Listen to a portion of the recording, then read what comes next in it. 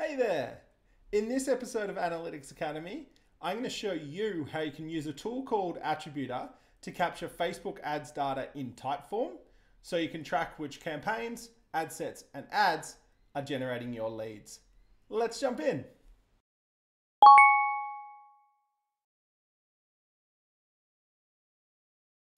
Attributer is a small bit of code you add to your website. When a visitor lands on your site, it detects where they came from and saves the data in a cookie. Then, when they complete a form on your website, it writes the data into hidden fields in the form, and the data is captured by your form tool and can be sent to your CRM and other tools.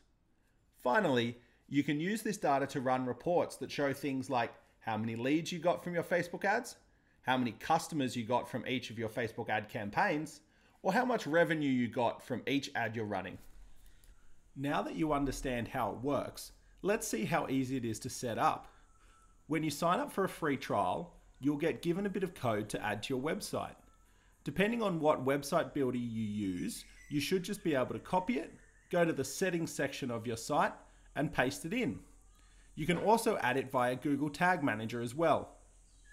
Now go to the form you want Attributer to work with, click the Logic tab, select the Personalize option, and then click Hidden Fields.